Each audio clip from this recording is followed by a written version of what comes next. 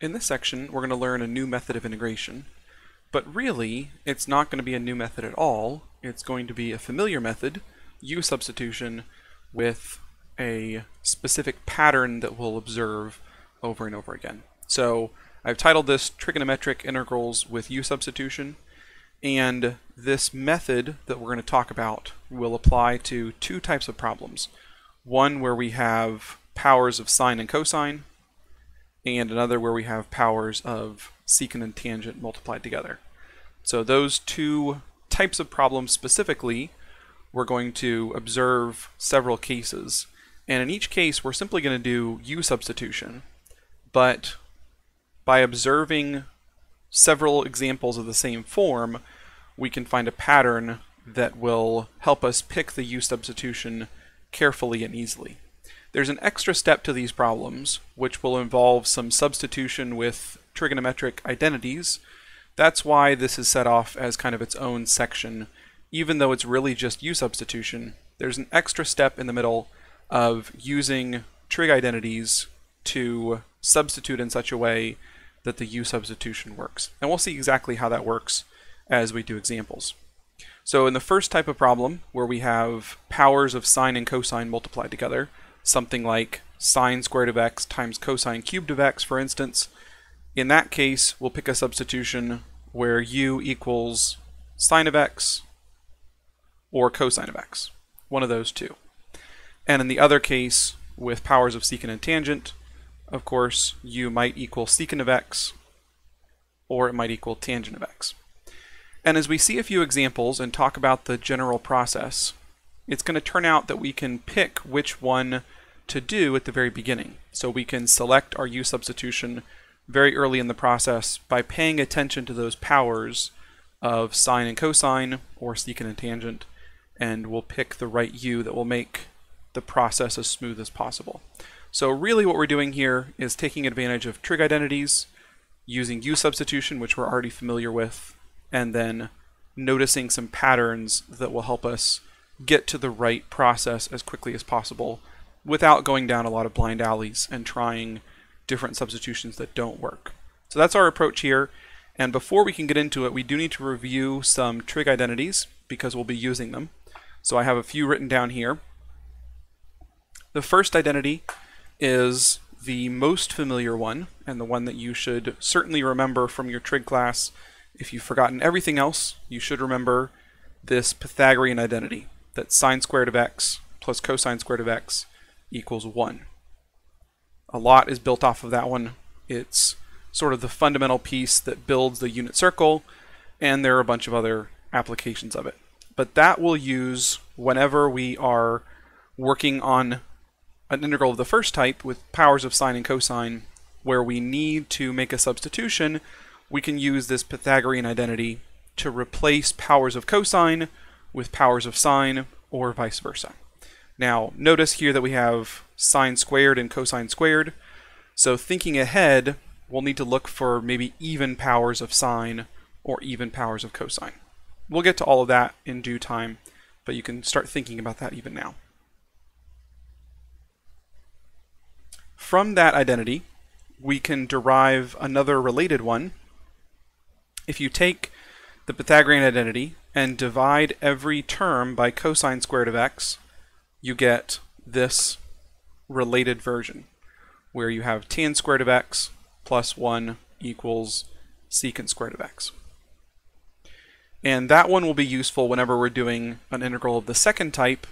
There will be times that we'll need to substitute powers of secant or powers of tangent for the other one. So there's a lot of rewriting one type of trig function in terms of its pair, sine and cosine or secant and tangent, and then there's a U substitution process. There are a couple more that relate sine and cosine, these half-angle identities. These are less familiar, perhaps, but they're good to have in front of you if you've forgotten them, and once you use them a few times, it's pretty easy to remember them.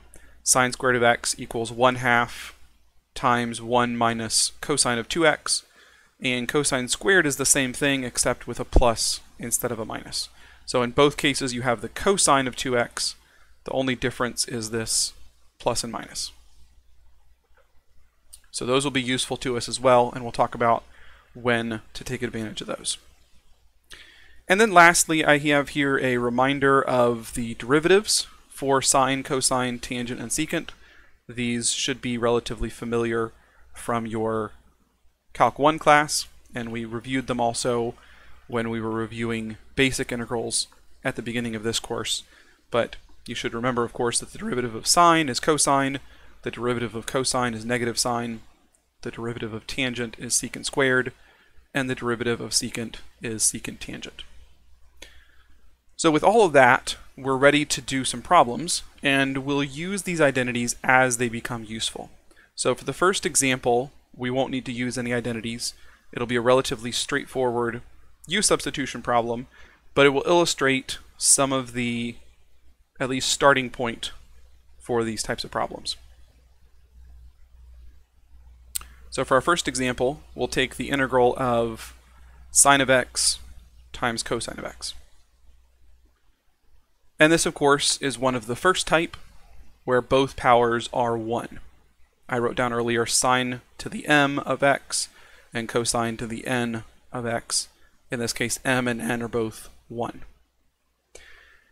It turns out, if you think about this carefully, and you can pause and see if you can figure out what the u substitution should be, but if you look carefully at it, you should be able to see that we can actually pick u to either be sine of x or cosine of x.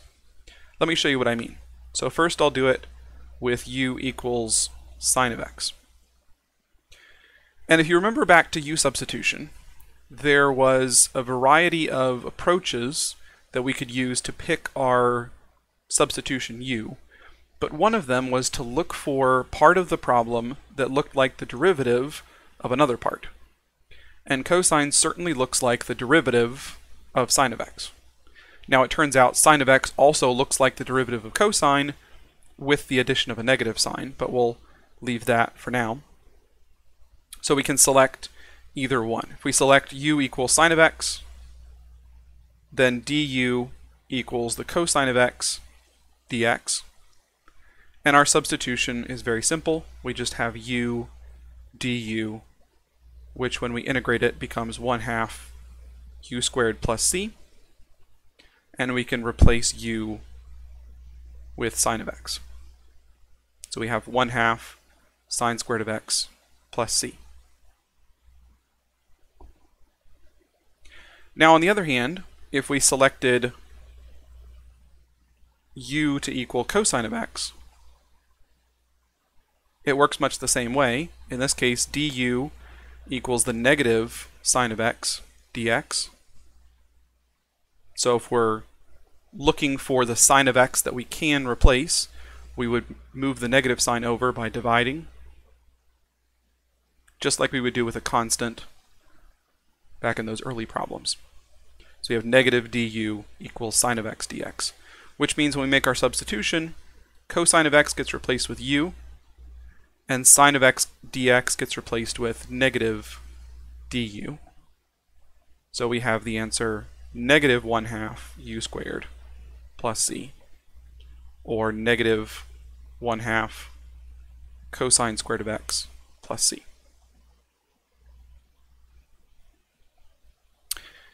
Now right away, you may look at this and have a problem.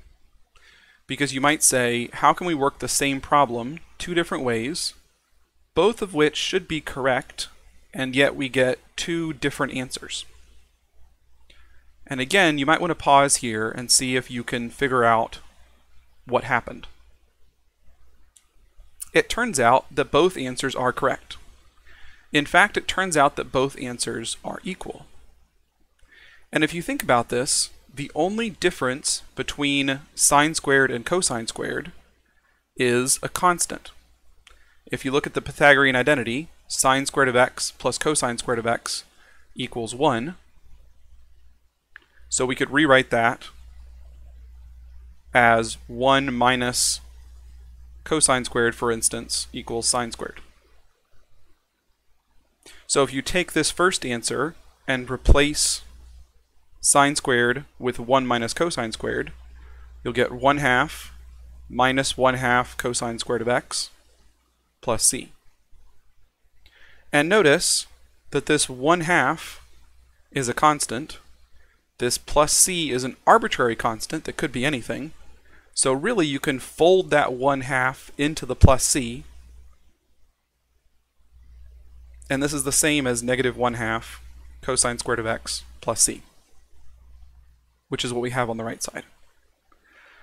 So that's a little quirk with these problems, that because of this Pythagorean identity, and it turns out the same thing happens with secant and tangent in some examples, you can work the same problem two different ways and get what looks like two different answers.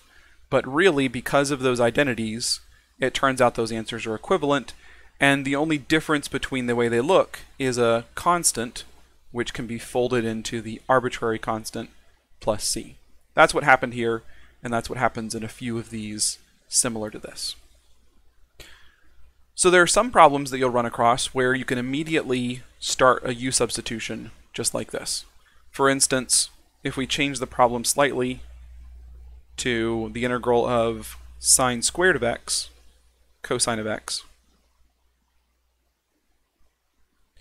again, we now want to pick u to be either sine of x or cosine of x. Now in this case it's a little bit clearer because we really only have one choice.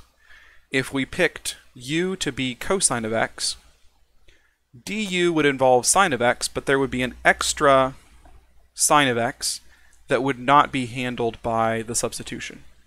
So when you're doing your substitution, you need to make sure you take care of all of the x's. And if we let u equal cosine of x, that would be taken care of by u. One of the sines would be taken care of by du, but there would be an extra sine that's hanging around without anything to substitute for it. So this tells us that we should let u equal sine of x. So then we'll have this turn into u squared, and then cosine of x will get picked up by the du. Now we're going to work this one out in detail in just a second, but I'll pause here and point out that as you're thinking ahead, we need to have a single cosine to serve as du in this case. Or in a similar problem, we might look for a single sine of x to serve as du. So you can start thinking about that, and in a minute, once we've done a few other examples, we'll write down a general procedure for this. But start thinking ahead to the fact that we need a single sine or cosine by itself to serve as du, and then the other function will be our u. So in this case, we have a single cosine of x by itself, which tells us that sine being u will work for us. So let's try that. Let's let u equal the sine of x, which means du equals the cosine of x times dx. And then we can substitute very quickly and get u squared du and when we integrate that, that becomes 1 third u to the third plus c. And we can substitute back sine of x for u. So we get 1 third sine cubed of x plus c. So we'll do several more examples before we write down a general process. But what we're noticing already is that there's this lone single power of cosine or sine. In this case, it's cosine. And that's the one that we set aside to serve as du. And once we do, we recognize that u has to be sine of x in order for du to be cosine of x. So keep that in mind as we go through a couple more examples in the next video.